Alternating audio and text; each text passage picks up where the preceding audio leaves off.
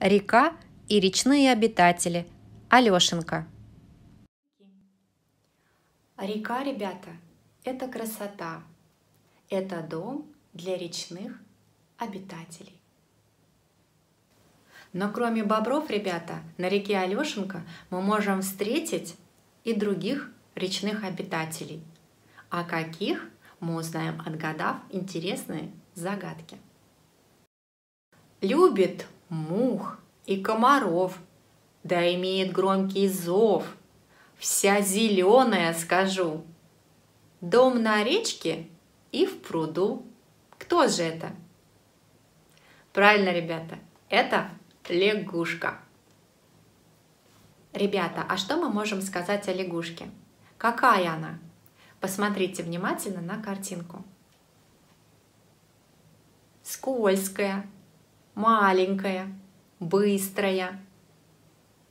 Наша лягушка зеленая.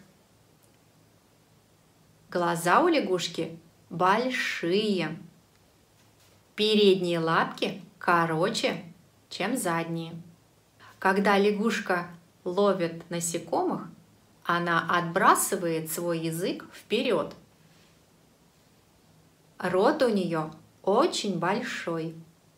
Если лягушка живет и в воде, и на земле, она какая? Земноводная. Правильно, ребята. Ребята, скажите, а какие птицы опасны для лягушек? Да, журавли, цапли, аисты. Опасны для лягушек. Зимуют лягушки на дне водоемов, под камнями или даже в норах грызунов. Ребята, а как же появляется на свет лягушка? Сначала из икринок появляются головастики – Потом они вырастают в мальков. А когда у мальков отваливаются хвостики, они становятся настоящими лягушками. А теперь, ребята, поиграем в интересную игру. Приготовьте ваши ладошки и дружно повторяем вместе со мной. Моя ладошка – это пруд. Лягушки в том пруду живут. Попрыгали наши лягушки по ладошке. И не одна, не две, не три, а очень много. Посмотри. Поймать мечтают комара. Рисуем спиральку. И любят квакать до утра. Ква, ква, ква, ква. Молодцы, ребята, у вас очень хорошо получилось. Ребята, а как называется пение лягушки? Правильно, кваканье. А сейчас отгадаем следующую загадку. Как на речку прилетает, сразу в воду залезает. Кря! Нырнула на минутку. Вы узнали? Это утка. Совершенно верно, ребята.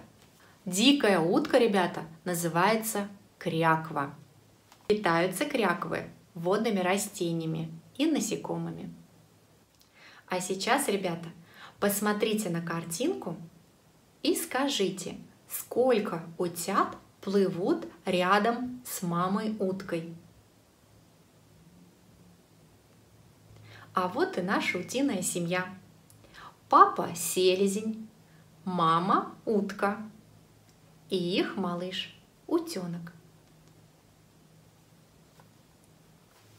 Ребята, а теперь отгадаем еще одну загадку про другого речного обитателя. Жить в реке совсем не скучно, скажет вам она беззвучно. Даже вежливо спасибо говорит не слышно рыба. Совершенно верно, ребята. А сейчас мы поиграем в игру, которая называется «Хлопни в ладоши». Ребята, нужно будет хлопнуть в ладоши в том случае, если вы услышите название насекомых или животных, которые живут на реке Алешенка нашего района. Крокодил, бобр, енот, рыба, утка кряковая, лягушка, комар. Молодцы, ребята, вы отлично справились с заданием. Ребята, скажите, какой речной обитатель вам понравился больше всего? А сейчас, друзья мои, пришло время прощаться. До свидания, до новых встреч!